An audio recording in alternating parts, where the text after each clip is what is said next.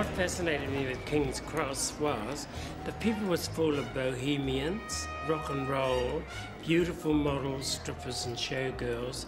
It was full of, of bikies and prostitutes. And they had these male and female drag queens and mafia. And I thought, oh my God, what a fascinating place. I classed myself as a transsexual. I didn't say I was a drag queen because if I revealed to them, then they, they, they won't go with me. I just said to them, I, I played a trick on them. And they, they go, Are you working? I said, I am. But I said, I'm not doing any sex. Why not? I said, Because I've got my periods. They believe me.